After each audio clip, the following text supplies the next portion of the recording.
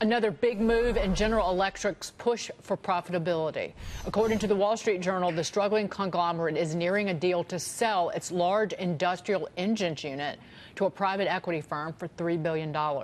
The sale would bring in an influx of cash, which, according to former GE executive Bob Nardelli, is something com the company desperately needs. He talked to Maria on this program about the future of GE last week.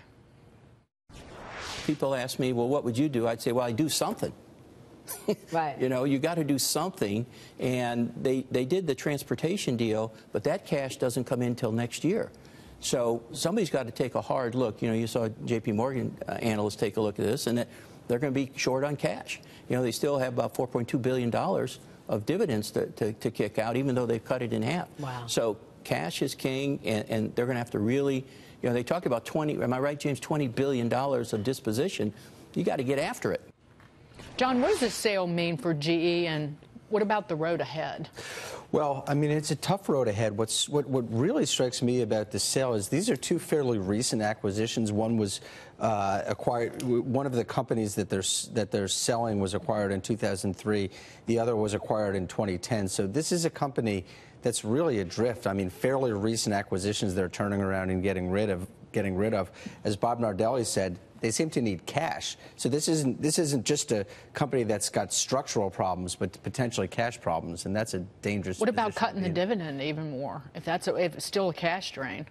Well, that's something that that's something that you always have to look at when you're short of cash. You have to look at cutting dividends. Absolutely just uh, let's not forget too that's going to be removed from the Dow. It's been on the Dow since 1907, but GE. No, it was a, it was an original Dow member, and it was removed twice yeah, after that. Right. It was originally now it's Dow. gone again. But industrials is it often overlooked? They made 10 billion dollars in industrials just last year. So I read a report over the weekend saying that it's still undervalued the industrial sector, and we don't talk about it enough in regards to because um, I know they're going to be spinning off some assets too. So that's something that. But again, this, this this shows how adrift the company is. These are two industrial businesses that they're getting rid of. Right. So so what's left of GE? It's kind of hard to figure out, figure that out. So you don't point. think that there's anything going forward?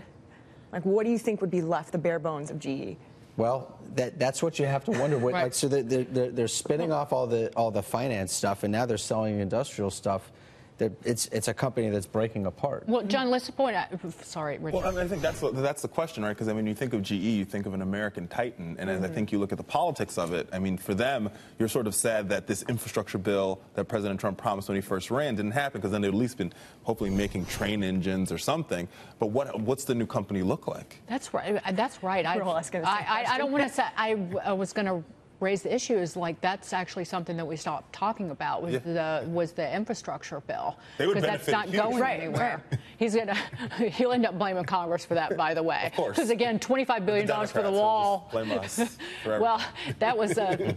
I used to make I used to joke or uh, about President Obama every time he gave a speech on the economy. I think every single economic speech he gave over eight years, he mentioned infrastructure spending.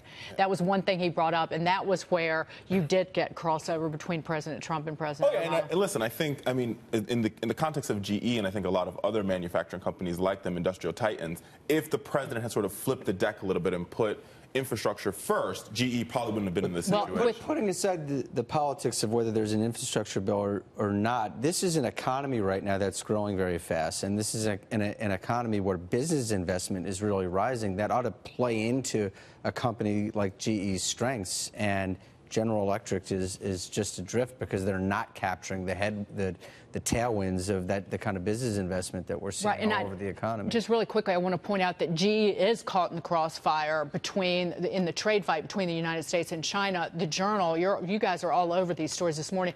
If tariffs go into effect on Chinese imports next month as planned, it's going to hurt two of the companies' uh, plants that make MRI machines, um, since the equipment could include Chinese parts. That's another issue. And President Trump is not backing down on this. Well, and again, this brings me back to this whole thing. The, the point that I'm making about export right. controls is really tough. Is really tough to do. We're trying to block. Uh, Chinese advancement in certain in certain technologies, but these are areas where Americans have strength, and we want to be selling to China. You know, the, the mm-hmm. Chinese are saying, you know, they they're, they're talking we're talking about demands that the Chinese buy $200 billion more worth more of U.S. goods. And then on the other hand, we're saying we're not going to sell you our, our most valuable products. So, what is it? We will continue to discuss.